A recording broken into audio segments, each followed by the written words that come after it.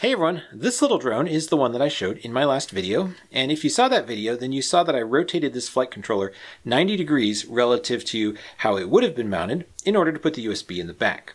And I do this sort of thing all the time when I'm making builds. Uh, it's quite common for me to take a flight controller and mount it backwards or upside down because I build a lot of custom builds and I do a lot of modifications like this one.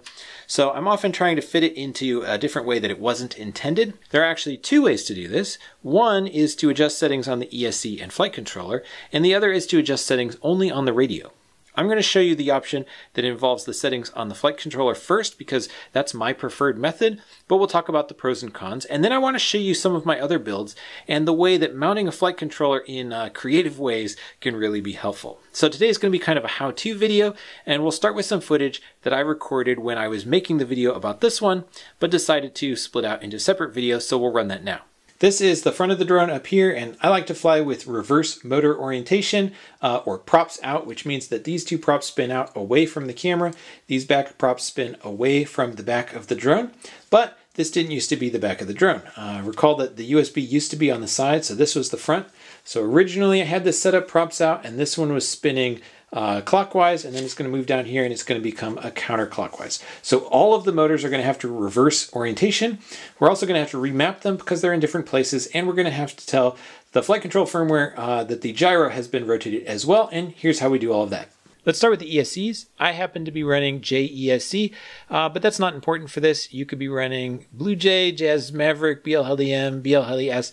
Uh, it doesn't matter. All the configurators look the same. So you're just going to hit connect, read setup, you can see, there we go. You can see my four different ESCs and the motor direction. If it says normal, flip it to reverse. If it says reverse, flip it to normal. That's how you reverse the motor direction. So after you've switched all of that, you just hit write setup and we're done with this.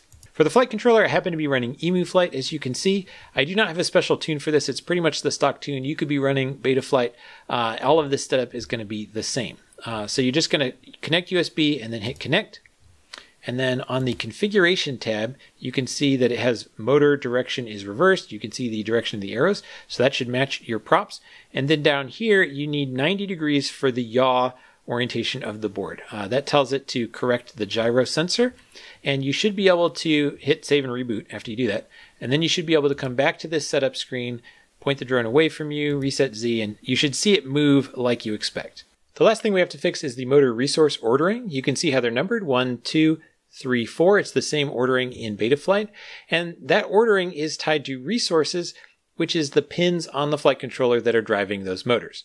But since we rotated it, the motor one is going to use the resource that was driving motor two. Two is going to use the resource from four. Four is going to use the resource from three. And I wish there was an easy way to rotate these in the user interface, but you have to go to the CLI and type resource, enter, you can see all the resources, including the motor resources.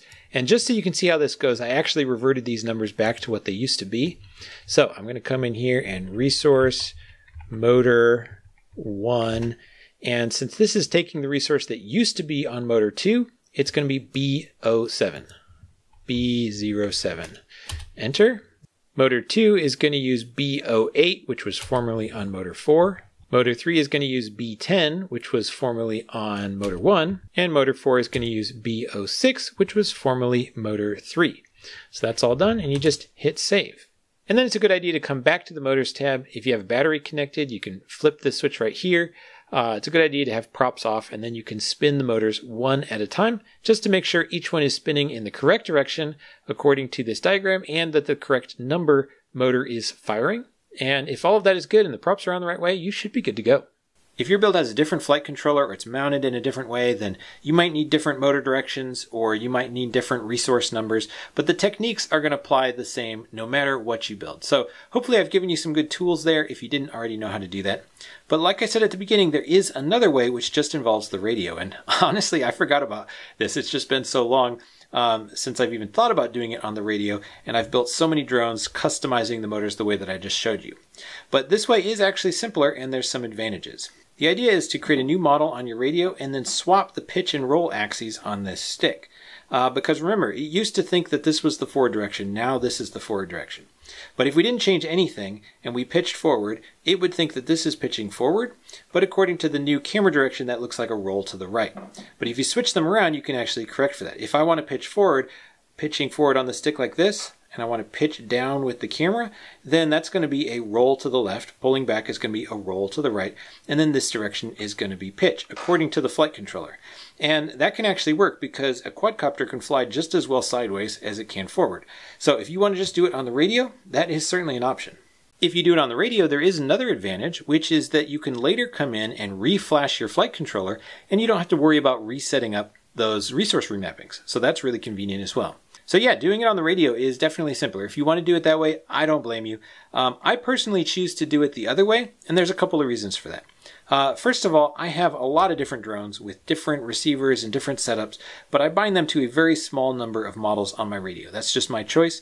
For example, this model is D8, and I literally bind every single D8 drone, which includes all of my whoops pretty much, uh, to this one model on my radio. All I have to do is switch it to this model and I'm ready to go. I don't have to have one of these for every single drone and remember what I had called it. So that's my own choice. But there's another consideration and it has to do with the motor direction relative to the camera. If my camera is pointing this way and I'm flying forward, then these props are spinning out away from the camera.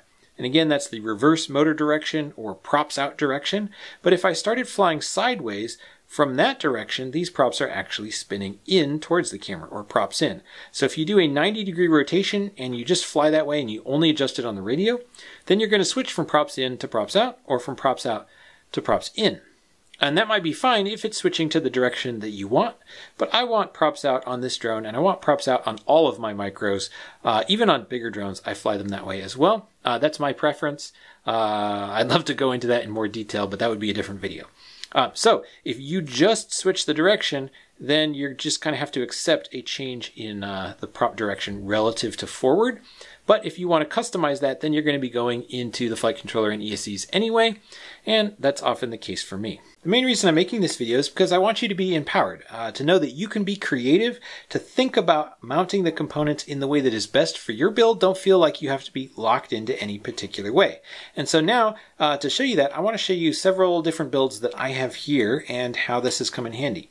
So this is basically a 1S Babytooth, but it's got the Flywoo motors on it. And this flight controller is the Crazy Bee F4 Lite. So this is a whoop style flight controller, but I took off the motor plugs and I flipped it 180 degrees of roll so that I could put the USB up, and that's so that USB doesn't hit the frame. That works out great on this one because an upward USB is easy to access. But this one has the DJI Caddx Vista right above it, so an upward USB would be no good. So this one I've actually got the USB pointing down. Again, whatever works for your build. Here's another example. This is a 4-inch racing drone. The frame is the Twig Mutant R by RacerX FPV. And the flight control I've got in here, you can put a 20 by 20 stack, but I chose to use a 35 amp uh, all-in-one board from Beta FPV. So that's what that is. But the USB you can see here, if I had mounted it forward, it would have been blocked by this post in the frame. So that combination just didn't work out. I had to rotate this flight controller 90 degrees, which is why you can see the capacitor is right here on the side as well. I always put the capacitor here, not out on the power lead. But since I was rotating the flight controller and the power lead was coming out on the side, I decided to go like this and plug in the battery from the side as well. So again, whatever works. The rotations don't even have to be multiples of 90 degrees. This cute little frame actually takes a 16 by 16 stack and it's rotated 45 degrees relative to how they normally would be mounted. So that's just an example. Uh, this is a frame I've had for a long time. This used to be a 2S drone. I took the components off of it because those components are what became my first uh, 2S Whoop. There's a really old video on my channel about this if you want to check it out. Uh, but this is the build that inspired the Beta 75X. In fact, it was directly modeled on these components. And one more example, this is a 5-inch drone. It's the Super G frame from Project 399.